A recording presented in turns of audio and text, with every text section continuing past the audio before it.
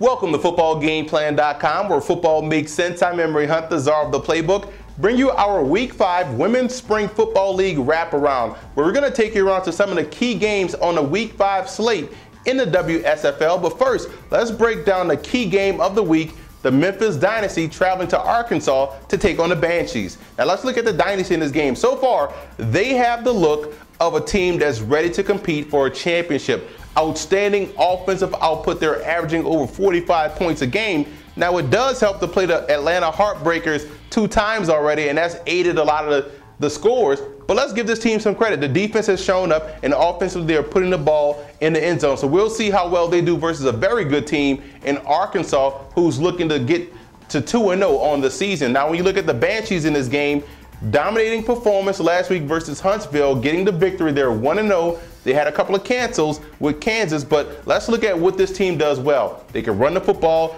with that athleticism to get to the edge, and we'll see how much that offensive line advantage will weigh in to what they're going to do this week versus Memphis. Big game right here. Not going to pick it just yet, but let's go around the week five schedule in the WSFL to see what else is on tap. Now, here are the remaining games on the Week 5 schedule in the WSFL. The Huntsville Tigers travel to Nashville to take on the Smashers. Up north, you have the Binghamton Tiger Cats taking on the Three Rivers Explosion, and the West Virginia Wildfire taking on the Cape Fear Thunder. That's a big rivalry right there. For more information on the Women's Spring Football League, visit www.wsflsportsnetwork.com.